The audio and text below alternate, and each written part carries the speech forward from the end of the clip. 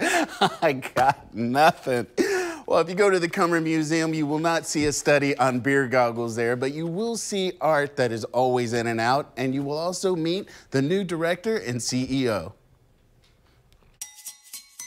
It's my extraordinary pleasure um, and professional privilege to be the director and CEO of the Cummer Museum of Art and Gardens in Jacksonville. Um, it's an institution that has really, really captivated me and all of the visitors that come in, um, first time visitors as well as regular visitors alike. That's the new CEO and director of the Cummer Museum, Andrea Barnwell Brownlee. She speaks on transition from her previous position to her new one.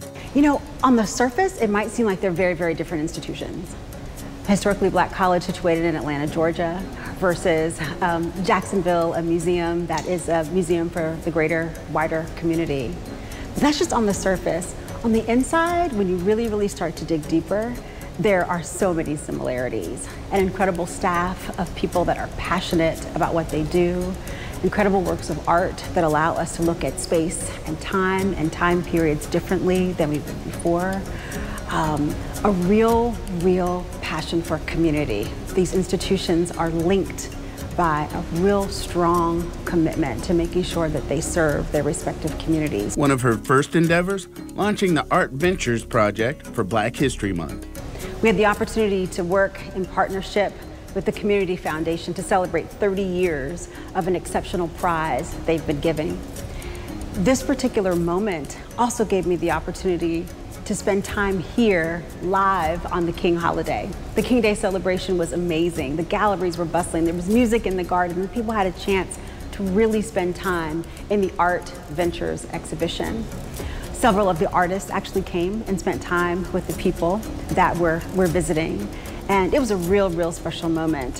One of the things that attracted me about uh, the Cummer Museum is that Black History Month is celebrated all year long certainly this is a time in February where we, we shout out the accomplishments, the histories, and the future of African Americans. But at the Cummer Museum, we also have several works by African Americans on view 365 days a year.